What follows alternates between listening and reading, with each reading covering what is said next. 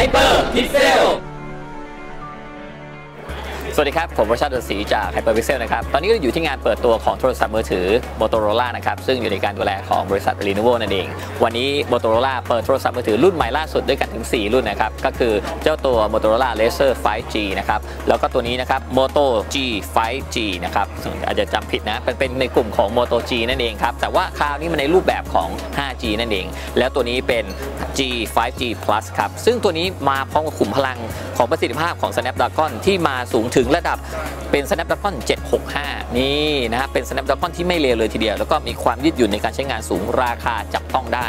ยังมาพร้อมกับตัวหน้าจอที่มีขนาดใหญ่ 6.7 นิ้วนะครับ ซึ่งเป็นอัตราส่วนระดับ 21 ต่อ 9 นะครับ ตัวนี้เป็น 21 ต่อ 9 หน้าจอ 6.7 ของเขาเนี่ยเป็น IPS Full HD+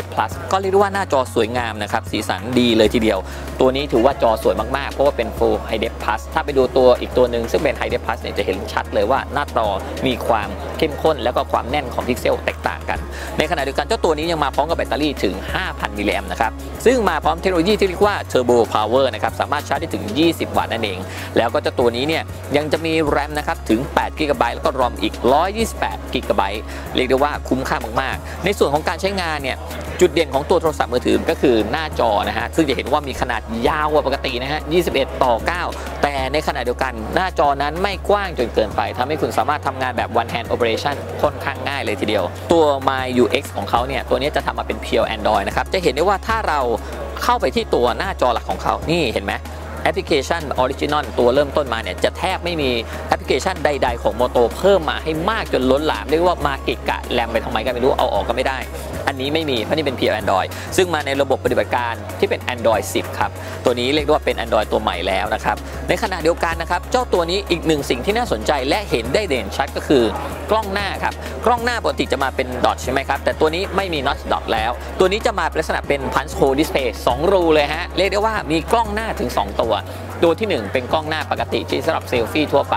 มุมมันก็จะกว้างแบบพอประมาณ แต่สำหรับตัวที่ 2 จะเป็น wide portrait selfie นั่นเอง ซึ่งเจ้าตัวเซลฟี่ด้านหน้าตัวนี้จะให้ภาพที่กว้างขึ้น สามารถถ่ายภาพคุณกับเพื่อนๆ และสถานที่ได้อย่างสวยงามนั่นเองครับ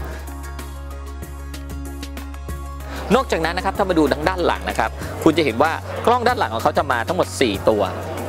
เห็นไหม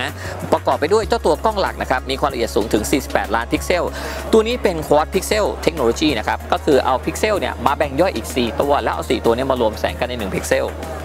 ซึ่งตัวนี้จะเป็นพิกเซลนะครับที่เป็นระดับ 1.6 ไมครอนนั่นเองนะครับในขณะเดียวกันมีกล้องตัวที่ 2 ข้างบนนะครับตัวนี้เป็น wide angle ครับในตัวของ wide angle ตัวนี้ความละเอียดก็จะลดลงมาอีกนิดหนึ่งนะครับซึ่งเจ้าตัวนี้จะให้มุมภาพค่อนข้างกว้างประมาณ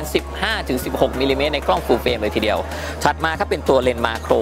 มาโครตัวนี้ให้มาถึง 5 ล้านพิกเซลนะครับ แล้วก็สุดท้ายก็คือเลนส์ depth of field หรือเลนส์หน้าชัดหลังเบลอให้มาอีก 2 ล้านพิกเซลครับ ก็เรียกได้ว่าครบวงจรครบถ้วนกันเลยทีเดียว แต่เจ้าตัว Motorola ตัวนี้จะไม่มีเลนส์เทเลนะครับ อันนี้ต้องบอกไว้ก่อน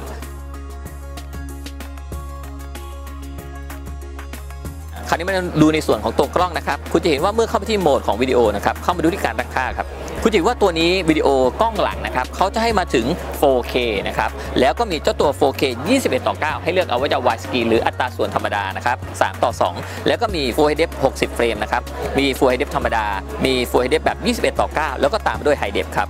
ในส่วนของภาพนิ่งก็เหมือนกันนะครับภาพนิ่งก็จะมีอัตราส่วนให้เลือกตั้งแต่ 21 ต่อ 9 16 ต่อ 9 และก็ 4 ต่อ 3 ครับก็ตามขนาดและสัดส่วนนะครับน่าสนใจมากๆ รวมไปถึงเจ้าตัว Motorola เนี่ยเขาก็จะมีในเรื่องของเมนูในการถ่ายภาพที่น่าสนใจนะครับให้เราเลือกใช้งานซึ่งเป็นเอกลักษณ์ของ Motorola อยู่แล้ว ไม่จะเป็น Spot Color นะครับไม่จะเป็นเรื่องของการคัดเอาวัตถุแล้วไปเปลี่ยนฉากหลังนะครับเทคนิคของการถ่ายภาพกลางคืน ซึ่งมันสามารถเร่งแสงในภาพ Night Vision เนี่ยได้มากกว่าการถ่ายภาพกลางคืนโดยปกติ ซึ่งแน่นอนถ่ายมาแทบจะไม่เห็นหน้า ตัวนี้สามารถทำงานได้อย่างเต็มประสิทธิภาพ แล้วก็ที่สำคัญตัวเครื่องก็มีความสวยงามนะครับน้ำหนักถือว่าดีเลยทีเดียว ถ้ามองจากด้านหลังเนี่ยเห็นว่าเป็นโฮโลแกรมกราฟิกนะเป็นลายเลเซอร์ที่ตัวเปลือกหลังซึ่งก็เป็น Gorilla Glass เนี่ยถือว่าดีมากๆเลยครับ ตัวเครื่องมีความเรียบมนสวยงามนะครับ เรียกได้ว่าน่าสนใจมากๆนะครับ การใช้งานนะฮะตอบสนองได้ดีนะฮะลื่นดีฮะหน้าจอนี่ถือว่าดีมากๆ refresh rate เนี่ยจะอยู่ที่ประมาณ 90 Hz นะครับ ซึ่งก็ถือว่ารองรับคอนเทนต์ต่างๆ ได้อย่างค่อนข้างดีเลยทีเดียว ตัวนี้เรียกว่าเป็นเรื่องที่น่าสนใจครับ ในขณะเดียวกันถ้าคุณดูด้านหลังเห็นไหมฮะ ตรงนี้จะไม่มีปุ่มตัวสแกนลายนิ้วมือแล้ว อันนี้บอกไว้ก่อนนะ แต่จะเป็นโลโก้เฉยๆนะฮะบอดี้สวยงามเป็น Gorilla Glass เคลือบอยู่ ต่ตรงกันข้ามเลยครับ มันจะมีปุ่มตรงนี้ครับ นี่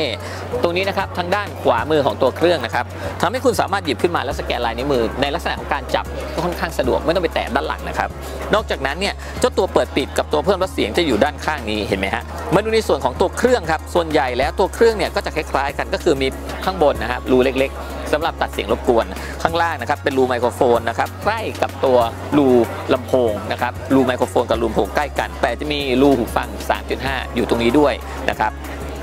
ในส่วนของบอดี้นะโดยรวมๆถือว่าสวยงามนะครับไม่หนาจนเทอะทะจนเกินไป แบตเตอรี่ให้มาเยอะครับ 5,000 มิลลิแอมป์ คุ้มค่ามากๆนะครับเรียกได้ว่าใช้งานได้ทั้งวันเลยทีเดียว อย่างที่บอกนะครับ Snapdragon 765 เนี่ยตัวนี้มีความฉลาดในเรื่องของการจัดการเรื่องของพลังงานด้วยนะครับ แล้วตัวนี้ยังรองรับเทคโนโลยี 5G ทำให้คุณสามารถใช้งานอินเทอร์เน็ตหรือว่างานโซเชียลอัปโหลดสตรีมมิ่งหนังหรือดาวน์โหลดเนี่ยค่อนข้างได้ไวกว่าเทคโนโลยี 4G นั่นเอง มือถือยุคนี้ถ้าใครจะซื้อเนี่ยไม่ซื้อ 5G น่าเสียดายมากๆนะครับและที่สำคัญที่สุดเจ้าตัวนี้ยังเปิดให้จองแล้วตั้งแต่วันนี้นะครับไปถึงวันที่ 16 พฤศจิกายนอ่า ซึ่งเจ้าตัวนี้เนี่ยต้องขอบอกไว้ก่อนเลยว่าน่าสนใจมากๆ เพราะว่าเขาเปิดราคามาเนี่ย เพียงแค่ 9,990 บาทครับ ไม่ถึงมื่นนะฮะ 9,990 บาท ถือได้ว่าเป็นโทรศัพท์มือถือ 5G ที่ราคาถูกที่สุดในท้องตลาดณตอนนี้เลยทีเดียว และถ้าเกิดใครจะต้องการตัวนี้นะ สามารถไปสั่งจองนะครับ ได้ที่ช่องทางออนไลน์เดี๋ยวผมจะขึ้นไว้ให้ สามารถสั่งซื้อภายในช่วงเวลาที่จองไว้ ถ้าใครจองในช่วงที่กำหนดเนี่ย คุณจะได้รับหูฟังนะครับ เจ้าตัว Motoverse เนี่ยโหรุ่นนี้แพงมากด้วย 2,000 กว่าบาท เอาไปเลย 1 ตัว คุ้มค่ามากๆนะครับ ใครที่สนใจจองเนี่ยต้องรีบรีบสั่งเลยนะครับ เดี๋ยวไม่ทันสำหรับวันนี้นะครับ ผมวรชันศรีกับเจ้าตัว Moto G5 G Plus ก็ต้องขอลาไปก่อนนะครับ เอาไว้เจอกันโอกาสหน้านะครับสำหรับการรีวิว ถ้าเกิดสนใจกดติดตามกด subscribe คุณจะได้ไม่พลาดนะครับ แล้วตอนนี้เรามี Facebook ด้วยนะครับ ก็คือ Hypervisel กับเว็บไซต์ของเรา hypervisel.online อย่าลืมเข้าไปดูนะครับ แล้วเจอกันใหม่โอกาสหน้าครับ สวัสดีครับ